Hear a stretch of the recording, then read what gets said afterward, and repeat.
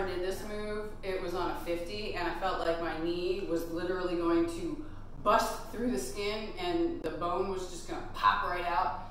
Obviously that did not happen, but this move to me felt like that. Now this is a 45, so maybe it won't feel like that this time.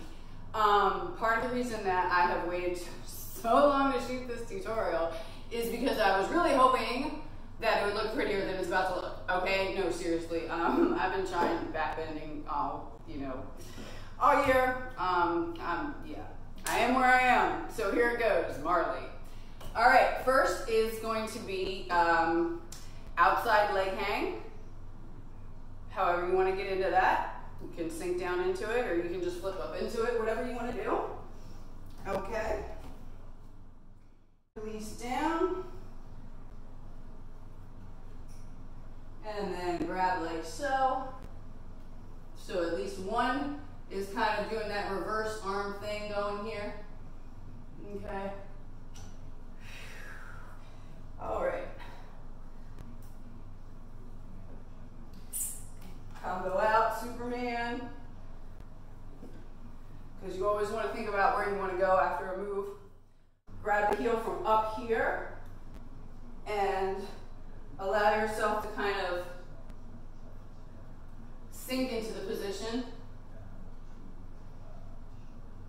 And then you can do the kind of twist.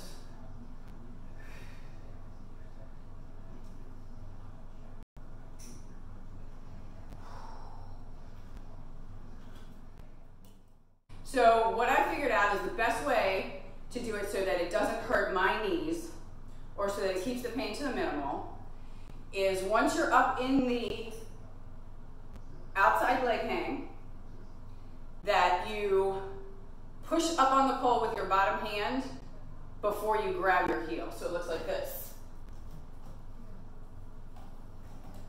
Come up, grab the pole so you can push up.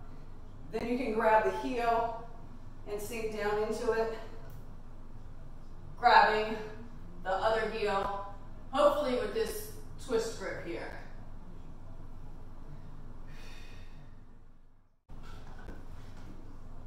You're gonna bring it up, outside leg hang. Hold on, sink down into it, grab your other heel, and hold on.